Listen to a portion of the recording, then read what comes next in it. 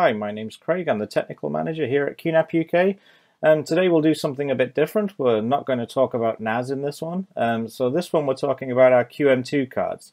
Um, what I've got here is one of our uh, HP micro servers. Um, this is just a very small server. Um, I've got installed in it the QM2 4P384 card. Um, the reason I put it in here is to talk about the Chia cryptocurrency.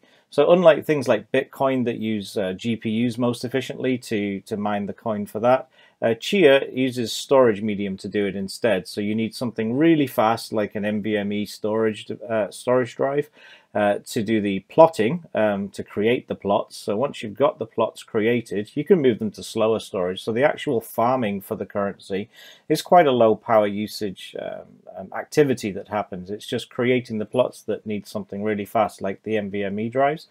Um, so with this HP uh, micro server, it's only got four uh, two and a half, uh, three and a half inch bays on the front of it, uh, but it does have a PCIe slot in the back. So what I've got installed in there, if I go across the device inventory, is we can see the four slots offered by PCIe slot 1. Um, these are referenced also when you go into the Windows that's installed on it, so I've just team viewed into it here. Um, so within this one, um, in the device manager, we can also see the same um, NVMe uh, express controllers that have been passed through.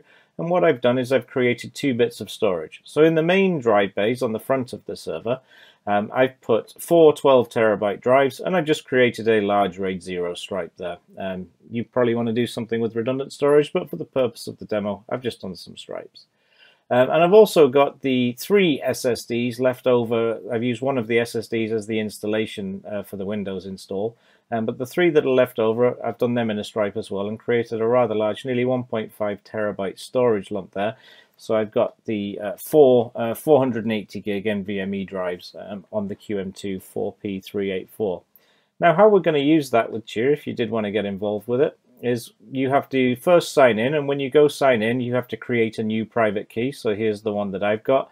Um, I'm not using this for anything so it doesn't matter that this is out there but you would create a new private key and it will give you um, the uh, the mnemonic words that you have to uh, write down if you want to uh, keep a hold of your wallet. But once you sign in to your key um, it will have to sync first so that'll take quite a while. So this is still syncing but for the purpose of the demo it's fine um, you get a wallet, so any uh, Chia that you have mined, so the XCH, um, they will appear here. Um, and down here you've got your farm. So the farm looks pretty basic when you aren't synced and you don't have any plots. Uh, but if you wanted to create a plot, you can click Add a Plot. So a plot, you can choose the different size. I generally use the, uh, the K32, the default one.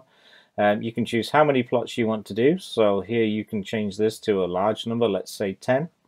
As we scroll down the list, um, it wants the temporary directory. And take note here that it says we recommend you use a fast SSD for this. So if we click browse on this one and we'll go down and we're going to pick the drive I've formatted uh, with the QM2 4P384 as my F drive.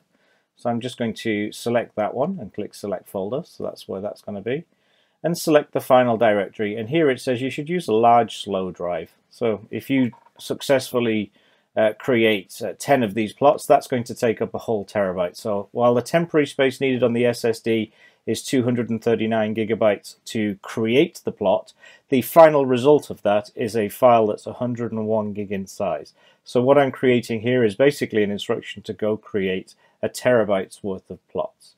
So if we come down here to the browse section, this time we're going to put it on the D drive, which is the much larger storage drive on the four hard drives, and we'll click select folder and then you can just go click create plot. So now that's created that, it's going to go off and it's going to do the plotting. So we see we're at 1% now. So it's going to go off and create um, those plots. It's going to take a, a, number of hours to create each plot.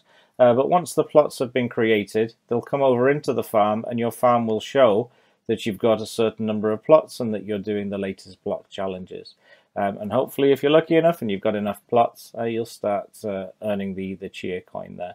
Um, you can only earn the Chia coin if the um, uh, node is synced, so this does take a while. It will go off and think about it for quite a while to go do that, um, so it can take a couple of hours to get synced as well.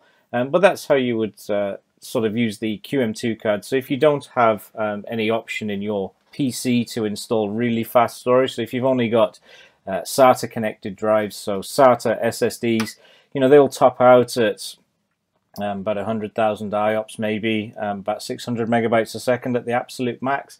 Um, you're going to get nearly four times faster than those numbers if you're using NVMe drives, especially on the read-write speed up to nearly 4,000 megabytes a second.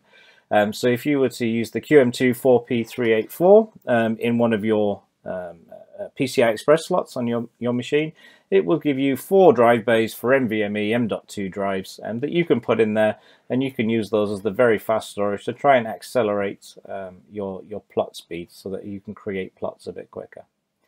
Okay, so that's the, the basics that I wanted to cover, but the, uh, the QNAP QM2 cards, we do two port versions and four port varieties. I would generally not recommend the QM2 4P384 in the HPE microserver um, that I'm using it in. It's a very tight fit to get it in there. It does fit, does work. Um, it's just it's a very tight fit. So either go with a two port version um, with some larger um, larger storage on them the 480 gigs I've got, so that you can do uh, more on the uh, the two SSDs. Um, but if you had a, uh, a larger tower PC where you, you had all the room in the world, the, the QM2 4P384 is our fastest, best, largest uh, QM2 card. Um, if anybody has any questions, please do drop them in the uh, comment section below and we'll try to answer them. Um, but yeah, this is uh, how to use the QNAP QM2 card uh, to um, do the uh, Chia crypto cryptocurrency farming slash mining. Okay, thanks a lot. Bye.